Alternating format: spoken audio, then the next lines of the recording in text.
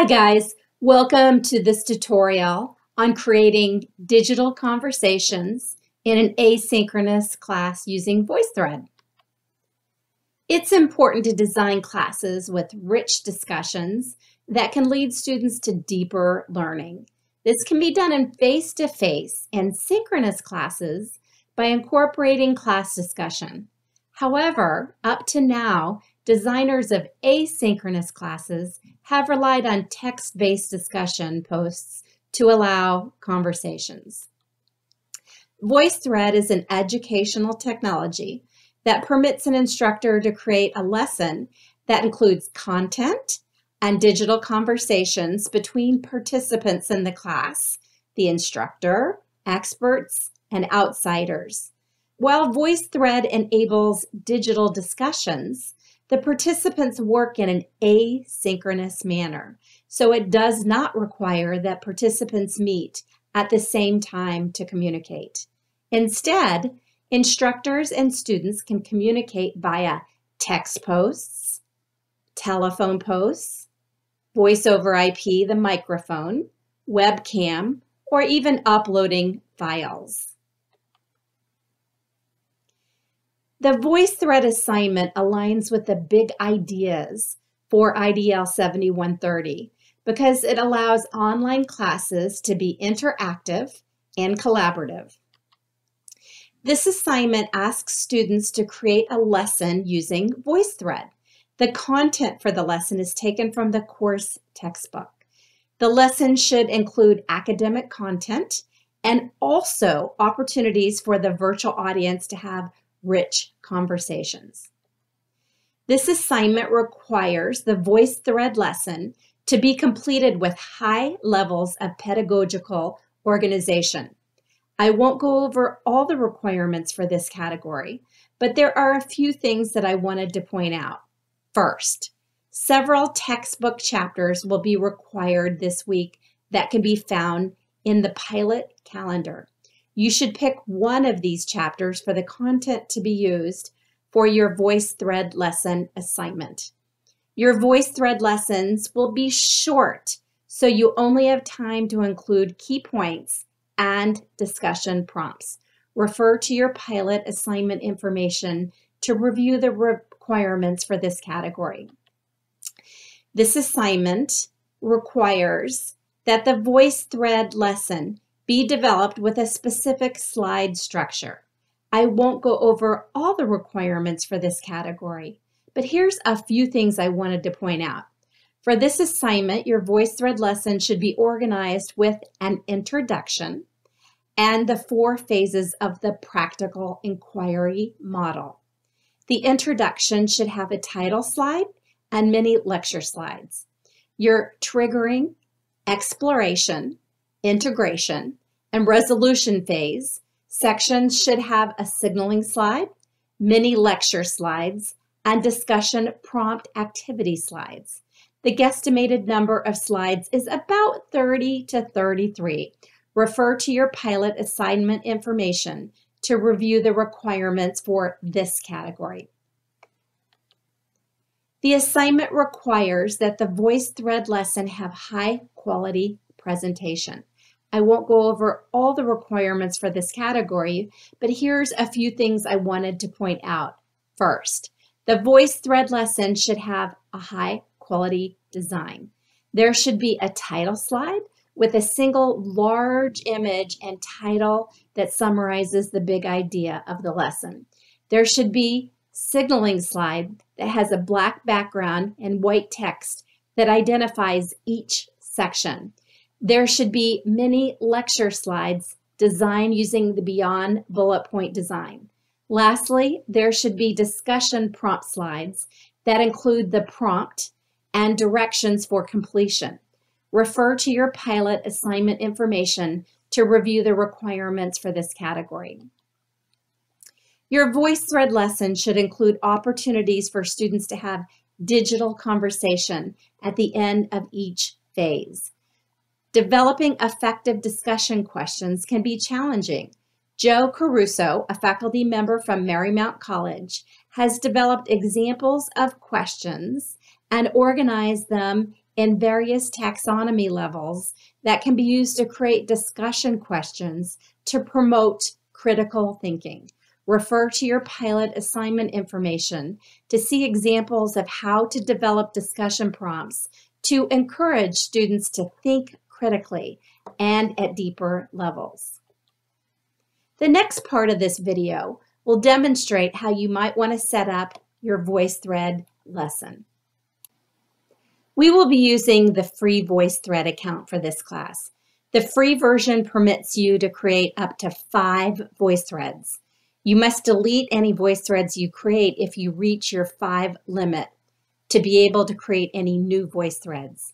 Here's how to create, here's how to set up a free VoiceThread account. Go to the VoiceThread website, which is https colon colon uh, voicethread.com. Then you sign in with your Google account. Uh, then we're going to go ahead and create uh, a VoiceThread project. Uh, so your PowerPoint should have been previously created. Now we will upload the PowerPoint file into VoiceThread.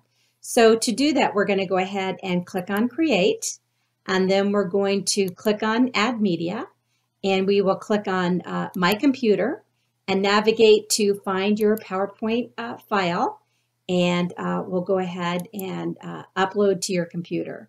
Um, then it's going to ask you to add these thread settings.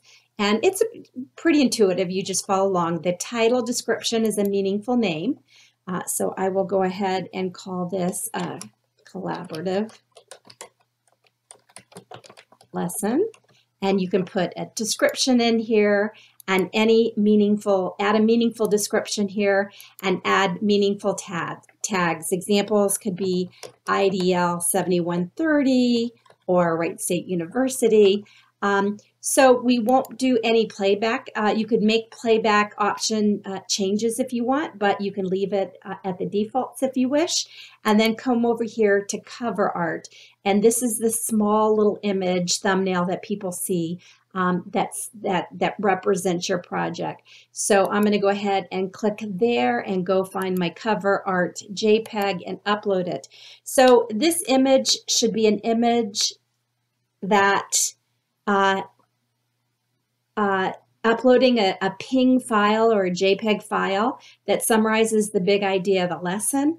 I will often take a screenshot of one slide in the PowerPoint presentation to use as cover art. So um, go ahead and, oh, bear with me, that did not, it did take. Um, so we'll go ahead and uh, click save. It takes a few minutes to upload. You will see where the wheel gears are moving while the file is processing. All the individual slides will be displayed once they're finished uploading. You should add instructor audio narration for all the slides. Here's how to do this using voice over the internet, which is the microphone or uh, VoIP, voice over IP. So you select the slide you wish to add the comments, and then um, click on comment up at the top here on the top nav bar. Then you move your mouse uh, to the bottom middle of the slide and you uh, click on the plus at the bottom. We're going to select the microphone um, and you get a countdown. We will go ahead and add your audio narration. And you can also click on the pencil to the right of the recording message and highlight the screen as you're talking if you wish. There's even different colors if you want to see that better. Um, click stop recording when you're done. VoiceThread will play a review of your recording. If you like it, you can click cancel. If you like it, go ahead and click save. Click the arrow uh, to go to the next slide to continue until you're done adding audio to all of your slides. The instructor should use audio using voice over IP uh, for option for all of your slides. However, for your students, I want you to create discussion responses where they use several options for their comments when you create your assignment. Here's how to add comments using the telephone. So click on the plus at the bottom of your screen, select the telephone, type in your phone number, and then click on call me. You will be called on your phone and prompted to speak your audio message into the phone. VoiceThread will play a preview of your recording. If you don't like it, click cancel. If acceptable, click save. The telephone option should only be used for students while adding their comments to the discussion post. Be sure to include directions on how they would post comments using this option. So for the instructor, again, a reminder, the instructor, while you're adding the comments, should always use voice over IP microphone for all the slides. However, for your students, I want you to create discussion prompts where they can use several different options to add comments. Here's how they could do comments using the webcam. So click on the plus at the bottom, select the video cam, the screen counts down, and then start recording your webcam click on stop recording when you're done. The voice thread will play a preview of the recording. If you don't like it, click cancel. If it's acceptable, click save. Uh, the, again, the webcam should only be used for students while they're adding their comment discussion post. Be sure to include directions on how they post their comments using that this option. So here's how to share the voice thread so that others can view it. Uh, click on the three lines in the upper left-hand corner right up here and uh, click on share. And under here, um, click on the access tab, click on the um, who has access. And by default, it's private. So you need to uh, change this to um, anyone can comment. Um, this is critical or none of the participants will be able to add their comments to your voice thread. So click on the basic tab and then click on embed and click on copy the embed code. And we'll go ahead and close this up. Your VoiceThread is saved in the cloud. You should share your VoiceThread URL with your instructor in your self-reflection. You also need to share your VoiceThread URL with your group members to allow them to access as fake students so they can complete your VoiceThread lesson. Here's how to get the VoiceThread URL. So number one, you will click on share. Bear with me, share right here. And um, in the top nav bar. Click on the Basic tab, and um, the properties uh, that allow anyone to view and comment should be selected, and then click on Copy Link. Use this link to paste into your self-reflection when posting to your Pilot Dropbox. You should also send this link to your group members to complete your VoiceThread lesson assignment as a fake student. The VoiceThread assignment is due by week six, Saturday by midnight. And students, as fake students, should go in and complete the voice thread assignment in week seven by Tuesday night at midnight. Then what you want to do is uh, when you initially post it, you should initially set the properties of your voice thread to anyone can comment so that your group members can act as a fake student and respond to your discussion prompt activities that you've included in your voice thread lesson. Your fake students, again, have until Tuesday uh, night of the following week to add their fake student responses. But by Wednesday, you should go into your voice thread and change the properties back to private so that your voice thread is not open for others to make com comments. Since this voice thread will be in a public forum on your Google Sites electronic portfolio, you run the risk of inappropriate posts being added by people you cannot control. So to avoid this, just set it to private so that you avoid the risk. And here's how to go back and change that again. You click on share and um, you click on the who has access tab and uh, you had initially set it to uh, anyone can comment, and you leave it that way until Tuesday at midnight to allow your uh, group members to uh, do their posts. And then on Wednesday of the week seven, go back in and click the little down arrow, set it to private again, and click on Save Changes. I wanted to do a quick overview of what uh, the slides in your VoiceThread might look like when it's all said and done. So uh, these are individual thumbnails of some of the slides. So you're going to have a, a title slide and then um, some introductory slides. So probably more than one, maybe two or three. Then you'll have these signaling slides that will introduce each phase, so the triggering phase. Then there will be some mini lecture triggering slides, maybe uh, three to four.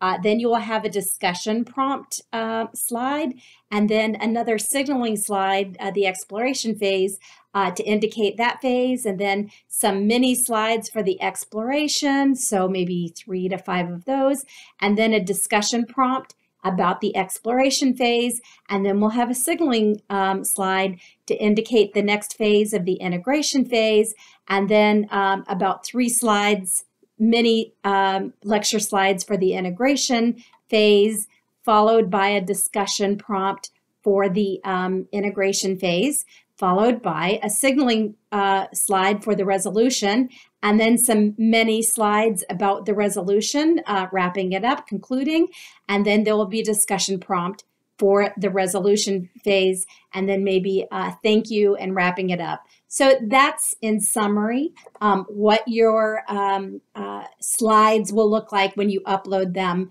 to VoiceThread. So now we're going to have some questions for you to reflect on just to measure your learning um, uh, from this information. Question number one. Uh, the directions are to select the correct answer. Uh, question is, VoiceThread is an educational tool that has many capabilities. Which of the following is not a capability of VoiceThread? Tool that can be used, that can only be used in a face-to-face -face environment, create a lesson that includes digital conversation, allow students to complete an asynchronous environment, and students have many methods to communicate, such as text posts, telephone, voice over IP or microphone or webcam. So which of those is not a capability of VoiceThread? Think about it. You might want to pause and answer, take out a piece of paper and answer which one of those the answer would be. The answer is number one, um, uh, tool that can only be used in a face-to-face -face environment. Um, VoiceThread can be used to create a lesson that includes digital conversation and is usually used in an asynchronous environment, not a face-to-face -face environment. VoiceThread has many options for communication such as text post, telephone, voice over IP, and webcam. Question number two, um, answer if this is true or false. So the question would be, the VoiceThread assignment should focus, should primarily focus on the instructor sharing the content from the textbook. The lesson should be designed with PowerPoint slides that are uploaded to VoiceThread and include the instructor narration. The participants will watch the lesson and have no requirements for interaction. Is that true or false?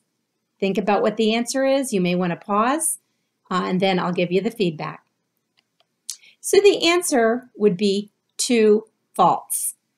The voice thread lesson assignment should include opportunities for students to post digital conversations at the end of each phase. Therefore, students will be required to interact during the lesson. Question number three. Fill in the blank with the correct practical inquiry model phase. Options include the triggering phase, the exploration phase, the integration phase, or the resolution phase. So uh, which phase of the practical inquiry model ensures, ensures engagement and buy-in from participants? An example would be icebreaker. So you can pause uh, the recording and write it down. Question number two, which phase of the practical inquiry model uh, moves participants to a full fuller understanding of the big ideas. An example is a mini lecture. Question number three, which phase of the practical inquiry model requires participants to assimilate the big ideas into their discipline and or field? And question number four, which phase of the practical inquiry model allows the instructor to wrap up, conclude, and summarize the big ideas of the class? So you may want to pause and write those down. And here's the feedback. So the triggering phase uh, ensures engagement and buy-in from the participant. The exploration phase moves participants to a fully under a fuller understanding of the big ideas. The integration phase uh, phase requires participants to assimilate the big ideas into their discipline and or field and or personal life.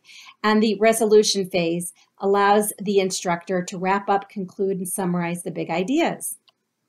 Question number four, select the correct answer. Which of these items should be included in your VoiceThread lesson? A title slide, a signaling, signaling slide, mini lecture slides with the BBP design, Beyond Bullet Point Design, or and or discussion prompts. Check one, two, three, or four. Go ahead and pause, and then I'll come back and I'll give you feedback. So the answer is all of these items, one, two, three, and four. Your voice thread lesson should include a title slide, signaling slides, mini lecture slides with a beyond bullet point design, and discussion prompt slides. So hopefully uh, this gives you an indication, uh, your level of understanding, and I look forward to seeing your assignments.